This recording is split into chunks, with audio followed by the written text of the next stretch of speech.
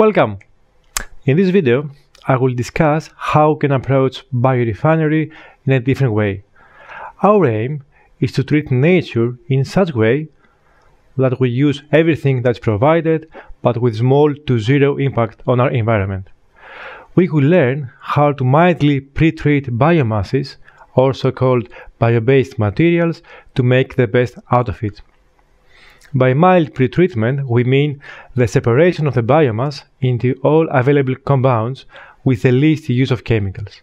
Only in the cases that mild pretreatment doesn't work, we will go for the chemical conversion route. Nowadays, the term biorefinery refers to the use of biomass to produce biofuels and molecules that can be further used as building blocks for chemicals.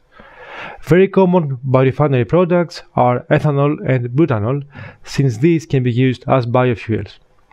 Ethanol and butanol can also be produced from lignocellulosic material.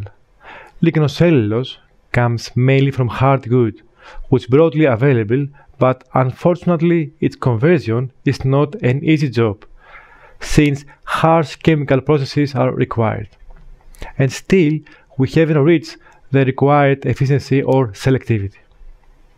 On top of it, in order to design a biorefinery with profit and zero carbon losses, we have to consider that most of the times there are at more valuable compounds in biomass besides fermented sugars. For example, we could use the already existing fibril structures for biofibrils or biocomposites. This is what we have to keep in mind when we design a biorefinery process. How can we make the best out of the biomass? How can we utilize all functional fractions available in the biomass? A holistic approach that achieves this is maybe the only way to be efficient, move forward towards a zero waste policy, and also get the maximum possible profit. Our motto is that nature can provide everything everywhere.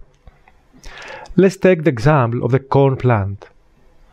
We can use the stems and the seeds.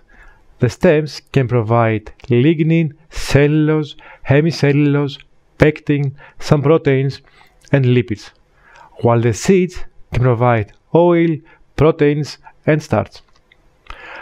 All these compounds are natively mixed together for a specific purpose.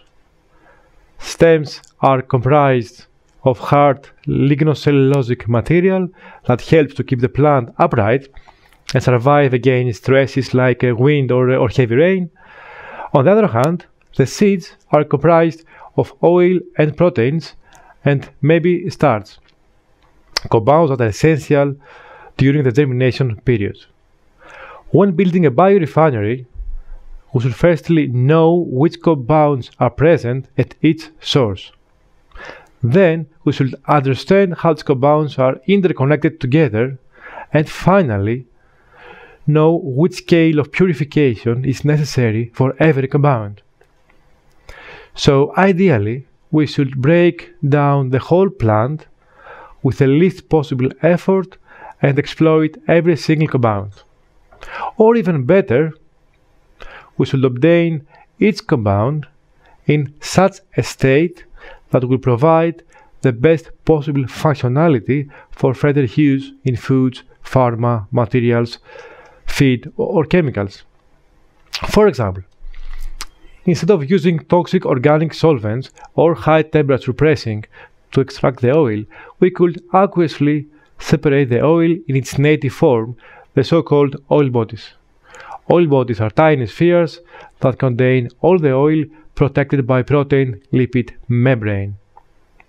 Or, in the case of the green parts of the plants, instead of extracting proteins and lipids with the aid of organic and toxic solvents, we could use them in their native membrane structure, so called thylakoids.